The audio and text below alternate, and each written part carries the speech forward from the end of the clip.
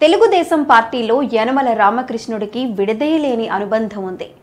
పంతొమ్మిది వందల ఎనభై రెండులో నందమూరి తారక రామారావు తెలుగుదేశం స్థాపించినప్పుడు ఆ పార్టీతోనే రాజకీయ అరంగేట్రం చేసిన తొలి తరానికి చెందిన నాయకులలో యనమల ఒకరు. ఎన్టీఆర్కు విధేయునిగా చంద్రబాబు నాయుడుకు అత్యంత నమ్మకస్తునిగా యనమల పార్టీ ఎదుగుదలలో క్రియాశీల పాత్ర పోషించారు. నాలుగు దశాబ్దాలుగా తెలుగుదేశం పార్టీ అడుగులో అడుగు వేసుకుంటూ ప్రజా జీవితంలో కొనసాగుతున్నారు. తెలుగుదేశం పార్టీలో సంక్షోభం తలెత్తిన సందర్భాల్లో వాటి నివారణలో యనమల కీలక భూమిక పోషించారు. తూర్పు గోదావరి జిల్లాలోని తుని ప్రాంతంలో వెనుకబడిన తరగతులకు చెందిన యనమల ఎన్టీఆర్ స్ఫూర్తితో న్యాయవాద వృత్తిని వదిలి తెలుగుదేశం పార్టీలో చేరారు. ఏ విషయాన్నైనా విపులంగా విశదీకరించటం యనమల ప్రత్యేకత. ఎన్నికల్లో పోటీ చేసిన తొలి ప్రయత్నంలోనే విజయం సాధించి అమాత్య పదవి చేపట్టారు.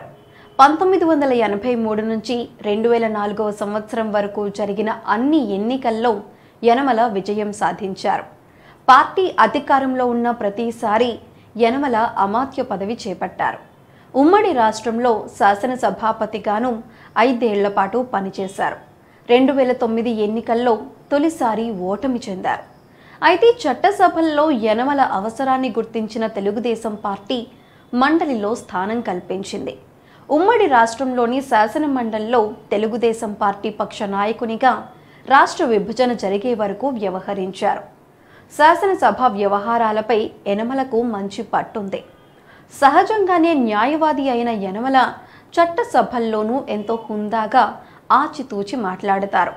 చట్టసభల నియమ నిబంధనలు సెక్షన్లు చట్టాలు అన్నీ యనమలకు కరతలామలకం సభ్యులు అడిగే ప్రశ్నలకు సాంకేతిక అంశాలు జోడించి మరీ సమాధానం చెప్పేవారు.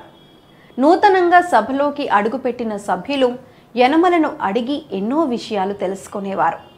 వర్తమాన రాజకీయాల్లో చట్టసభల వ్యవహారాలు నియమ నిబంధనలపై అంతగా పట్టు కలిగిన వ్యక్తులు బహు కొద్ది మందే ఉన్నారు.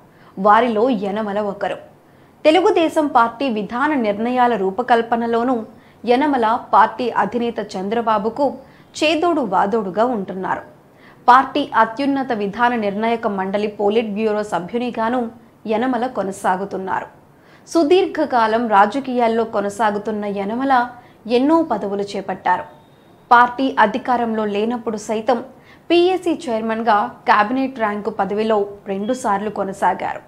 రాష్ట్ర విభజన అనంతరం లోటు బడ్జెట్లో ఉన్న ఆంధ్రప్రదేశ్ ఆర్థిక వ్యవస్థను గాడిలో పెట్టేందుకు యనమల ఎంతో శ్రమించారు. నాలుగు దశాబ్దాలుగా రాజకీయాలలో ఎన్నో ఉన్నత పదవులు చేపట్టినప్పటికీ యనమలపై అవినీతి ఆరోపణలు లేకపోవటం ఆయన వ్యక్తిత్వానికి నిదర్శనం. మరిన్ని అప్డేట్స్ కోసం మా కాయ్ టీవీని సబ్స్క్రైబ్ చేసుకోండి.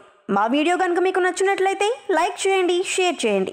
మీ విలువైన అభిప్రాయాలను కామెంట్ బాక్స్లో తెలియజేయండి.